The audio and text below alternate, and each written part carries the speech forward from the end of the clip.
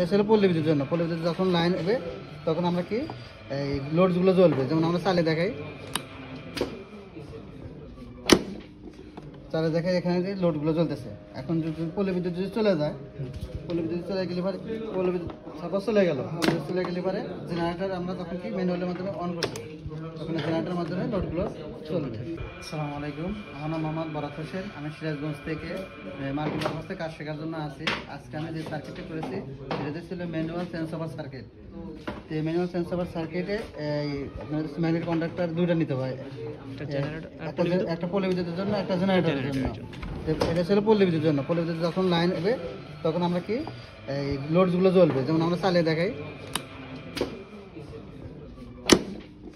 চালে দেখে এখানে যে লোডগুলো জ্বলতেছে এখন যদি পলি বিদ্যুৎ যদি চলে যায়, পলি বিদ্যুৎ চলে গেলে পরে পলি বিদ্যুৎ সাপোজ চলে গেল চলে গেলে পরে জেনারেটার আমরা তখন কি ম্যানুয়ালের মাধ্যমে অন করছি?